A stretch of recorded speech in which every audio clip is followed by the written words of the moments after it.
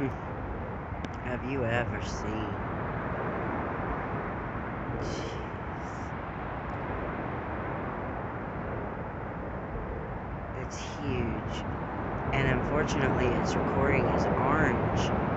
But, I mean white, but it's actually orange. Neon orange. I'm gonna back it up. I have it all the way zoomed in for. It's coming up so fast. Look at the water too, guys. It just doesn't, nothing's looking real. I mean, it looks like virtual. Very, to me anyway, very um,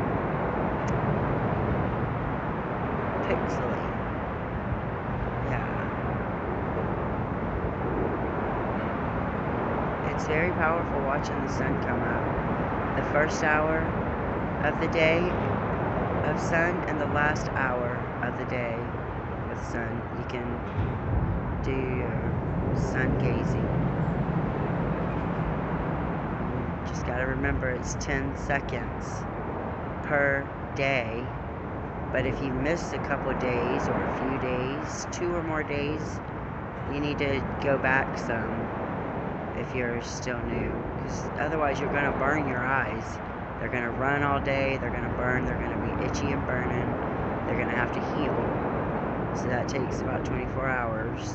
So that's a long time to suffer with your eyes, you know. So just remember that. But each day, you it sounds like a minuscule amount, but it grows pretty quick actually. But you don't have you don't exceed that hour now. Ever. Don't proceed or exceed. Alright.